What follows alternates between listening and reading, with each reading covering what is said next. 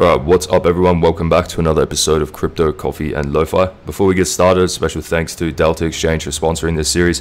Click the link in the description below and sign up with them um, using my link and receive a deposit bonus.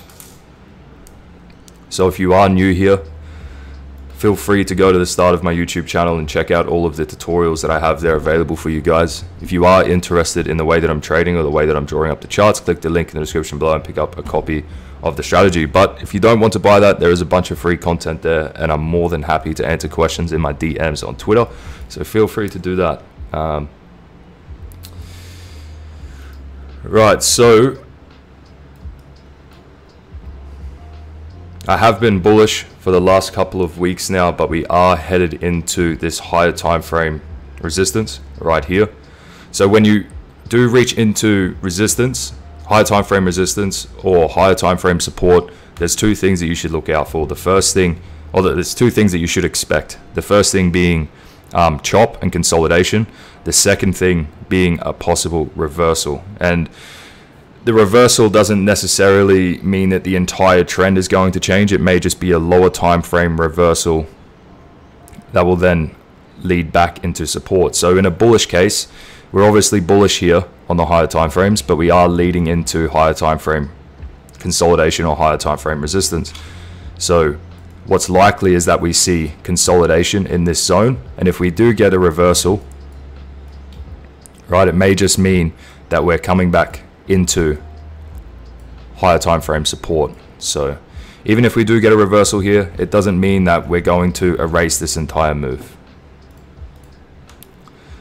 So even though I'm still bullish, even though I've been long from the lows, I think it's important um, around these levels at least to be looking to take some profit and just being cautious. Um, if you're on the lower time frames trying to day trade, I would be taking profit quickly and expecting uh, price to range and chop.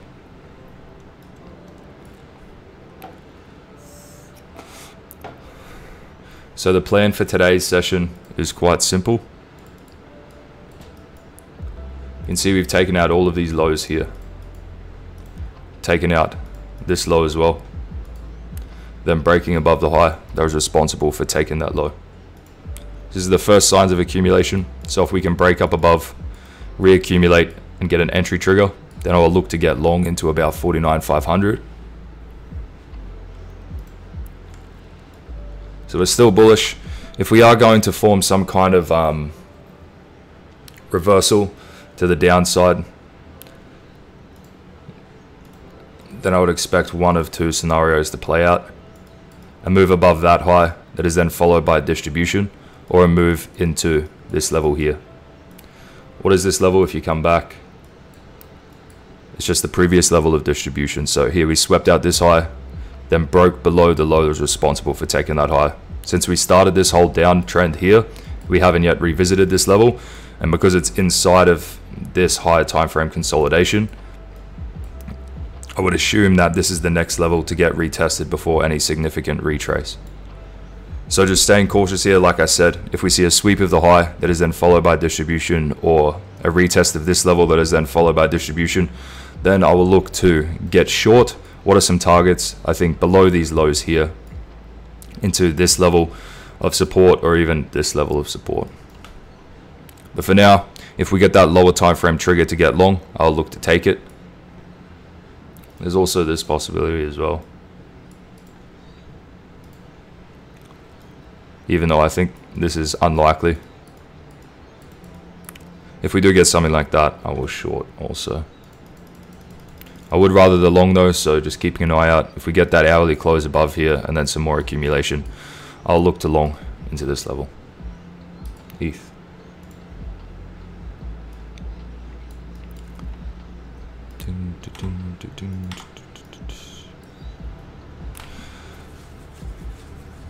So I will link a video in the description. Um, it's a video that I made a little while ago, the smart way to read a trend. Um, so feel free to go and check that out. But essentially what I point out in that video is that even in an uptrend, we can retrace and uh, break structure, but it doesn't mean that the entire trend is retracing. So how do you know that the entire trend is not, oh, it doesn't mean that the entire trend is reversing. So how do you know if price is going to, if price is reversing or retracing. What I do is I mark out the areas of accumulation. Okay, and this is essentially the true support in the market. So we can break this level of support or break this level of support, but it doesn't mean necessarily that the entire trend is breaking. So we may get something like this, and these levels may break. But then if you look back, you mark out the accumulation. So here we have a sweep of these levels, and then we broke above the high until we start to invalidate the true levels of support or the levels of accumulation, then it's best to assume that price is going to continue up. So just like Bitcoin, if we get a lower time frame distribution, I think looking at this level for reaccumulation and a continuation of the trend will be the play. But for now, still no signs of distribution on the lower time frames. So until we get that, it's best to assume that price is going to continue up. Let's see if we have any targets. So we've just taken out these equal highs, but we do have this level just above here. And it pretty much lines up perfectly with that level on Bitcoin as well. So I think for today, we continue up into this level. If once we reach there, we start to get distribution, then I'll look to short into this level just here. So on ETH, what would the trigger look like? A sweep there, then breaking above the high is responsible for taking those lows.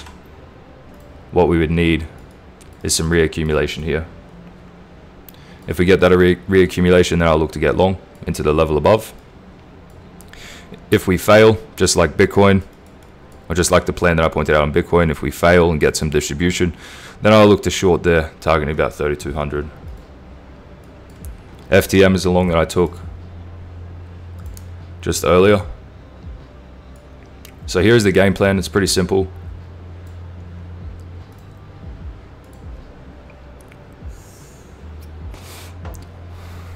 moving below this low here and accumulating.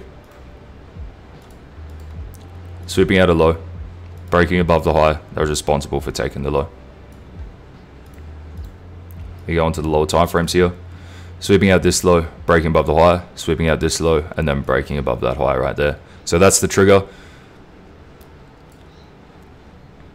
Before the accumulation that we saw here, there was a down leg what caused this down move? This area of distribution here. So here we have a sweep, then breaking below the low. Since this distribution, since this down leg, we haven't yet retested this level. So I think if we are accumulating, even if we aren't forming a full-blown reversal, we should retest this level before continuing down. So I'm long here. If this long fails, then I'll look for reaccumulation of the trend line. If that long fails, then I would assume we get some more distribution then looking for some accumulation all the way down here using the plan on Bitcoin and ETH as confluence.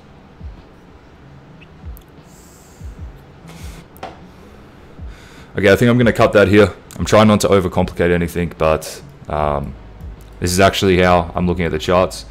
I'll get much more engagement, I know, if I just posted one bias and said I'm really bullish or really bearish, but I, you know, people that do that, I don't think actually trade. So, although there are times to have conviction, I think it's important to always keep um, a clear head and not get too married to your bias.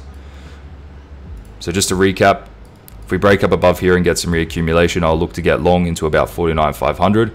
If we get some distribution above the high, I'll look to cut that long and short into below these lows. If we get some distribution at about 49,500, I'll look to short into these lows as well. Alright guys, cutting it there. If you're interested in the way that I'm analyzing the charts and taking these positions, you can click the link in the description below and pick up a copy of the strategy. No worries, enjoy the rest of your day.